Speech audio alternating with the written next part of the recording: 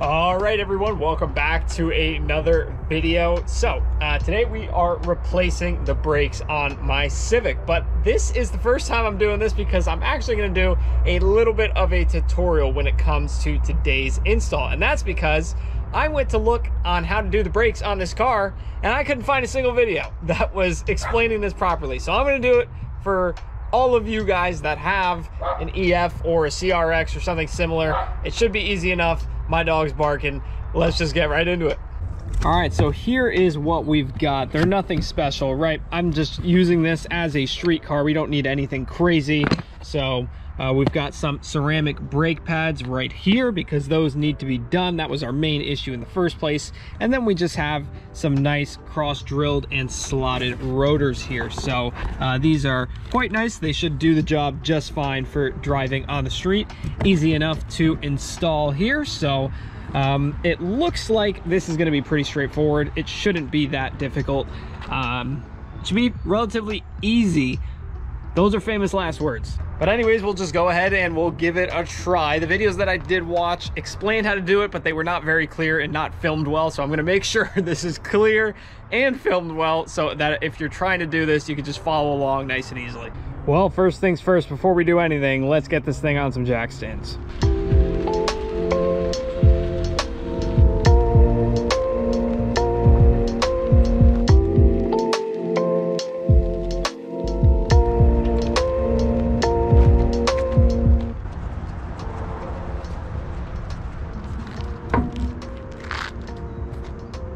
All right, now that we have the wheel off, you can see why we're doing this. Look at this right here. Our brake pad literally split in half somehow, and the rotors as well. Along the outside here, you can see those are very worn, so they needed to be done pretty bad. They're rusting like that. Obviously, this is okay. This surface rust, this will just happen if a car sits, but this stuff on the outside, this top half, that's when you know your rotors need to be replaced when they start splitting, especially right there. Not sure if you can see that, but it is splitting. So anyways, we'll get this all situated. And from the video I watched, it looks like we've got two 17s. So, all right, so this is pretty straightforward. So you've got three 17s back here, or uh, this is a 14 or a 12, it looks like, uh, right here. And this is for the caliper. And then for the actual rotor itself, uh, in the back here, there's one here on the bottom and then one on the top, which is right here. Very straightforward. So let's start with getting the caliper off. This should be pretty easy. Okay, and to get the caliper off, which is what we're gonna do first, uh, you just need a nice little 12 mil right here.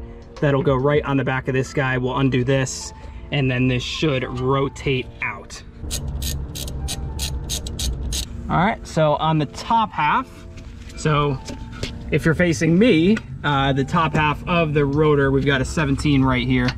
And that fits on nicely there, so we'll undo that one next. And we should have another one on the bottom, right where my finger is right here. You can feel it back here. All right, it's a little disassembled already because I took the brake pad out. You could see how it uh, split there. That obviously isn't good, but basically this bolt that you just took out, this little 12 mil that was in the back right here, slots into that little sleeve. And then you have to push the sleeve back like this so that you can uh, rotate the thing out. And then it might take a lot of force. Mine did because this is a very rusty car in this area. But now you can see it slides up just like that and you can access the pads now. So these are obviously if we can get them out here, they are completely, completely destroyed.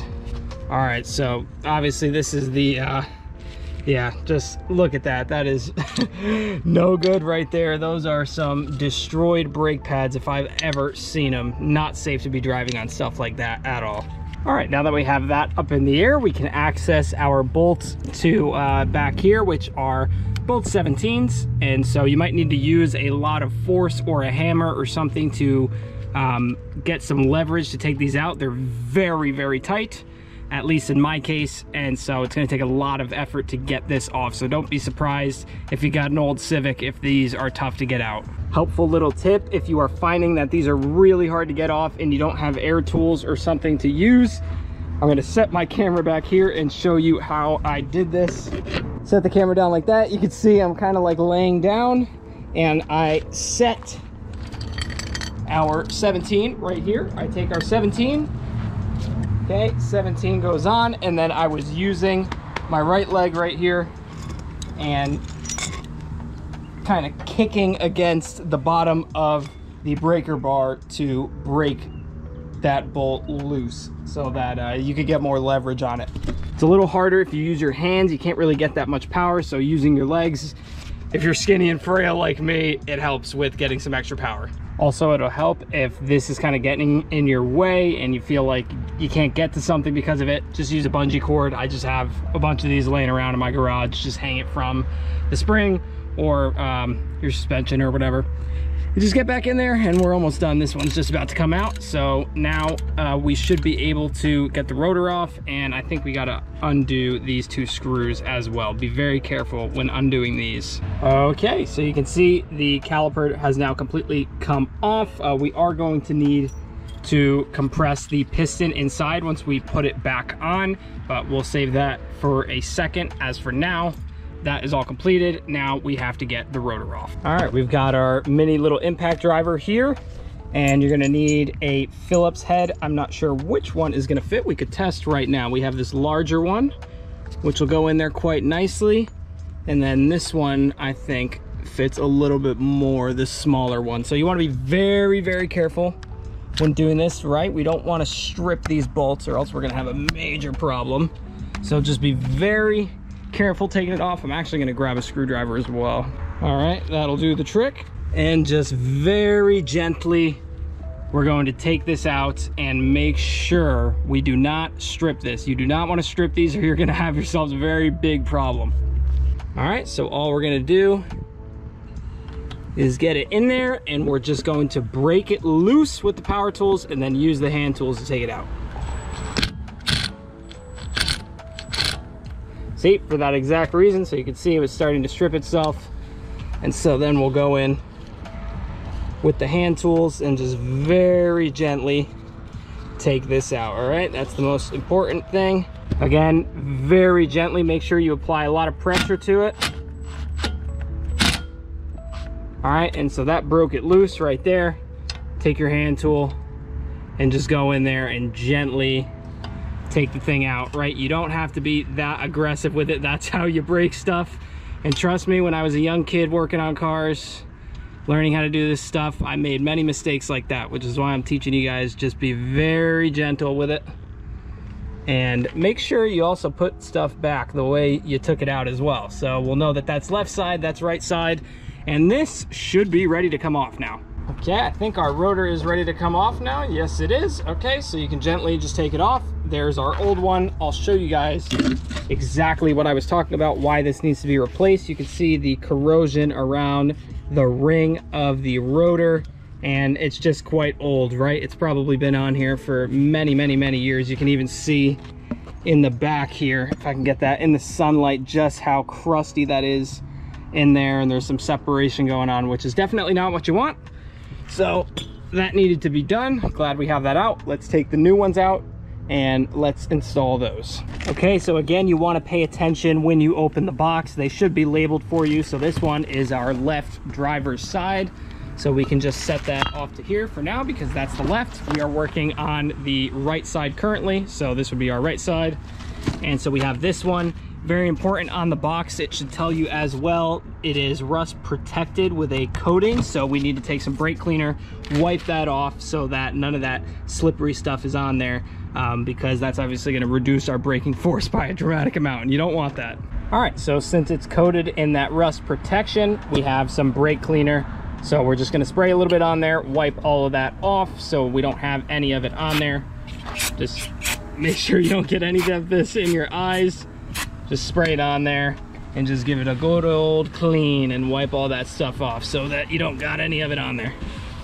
All right, so that should be fine. Now it's time to install our pad. So it's gotta go like this right here. You wanna make sure that you, uh, whoops, sorry.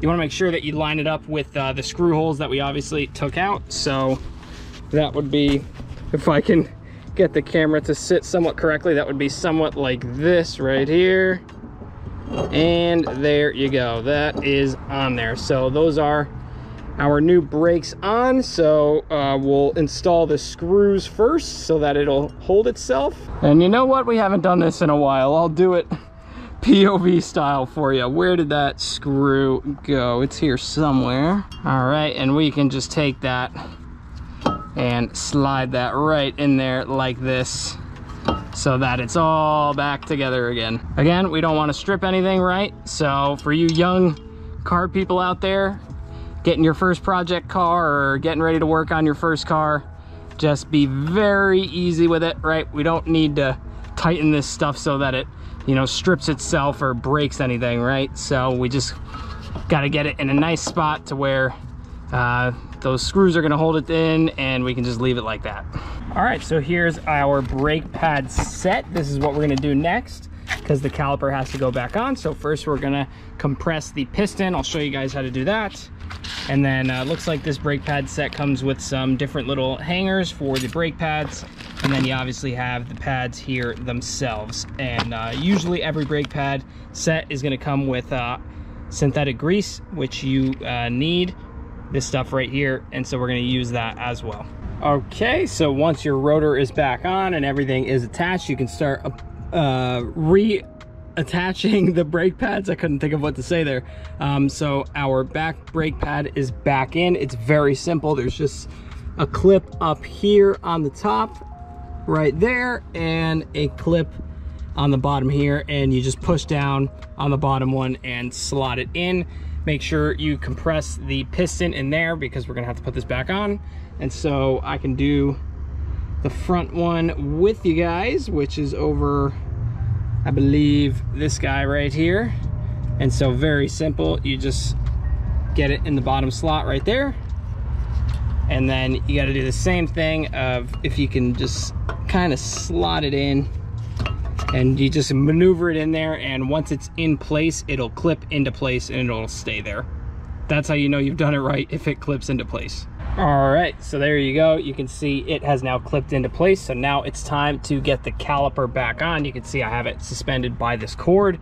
So you have to compress the piston so you can get back around the uh, the pads here and that should be your whole install complete everything should go back together as uh, you took it apart all right it is the following day everything has been completed they have been installed correctly if we go down in here you can see i was wearing them in yesterday just drove the car uh, around for a little bit probably about 10 15 minutes to bed the brakes in and uh, gave it some good testing. Everything works a-okay so uh, the only issue we did have was um, over on this side i don't even know how this happens but the actual uh, there's the two bolts that we went over the one on the top for whatever reason the threading started like i don't even know how to explain it. It started like peeling that's the only issue i had with the car. I was able to go in there back fine but i will probably buy another bolt just to be safe anyways. But that is what we have now. Brakes are completely installed. They work correctly.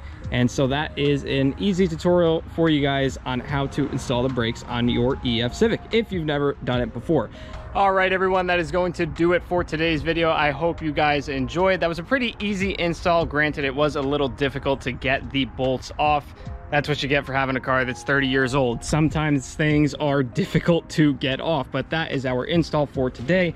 I drove the car around for probably about 10, 15 minutes, just bed the brakes in a little bit. They could probably use a little bit more wearing in, uh, but everything worked correctly. Everything worked fine. It was a pretty smooth install, but as I said, things can be a little difficult with a 30 year old car to get rusty bolts off and whatnot. So please, if you are doing this job yourself, just be careful when you're taking stuff off it's not my fault if you break something. Anyways that's going to be it for this video. I hope you guys enjoyed. Thank you so much to everyone who has been supporting the channel and that's going to be it for this one. I'll catch you guys in the next video. Thank you so much. Peace out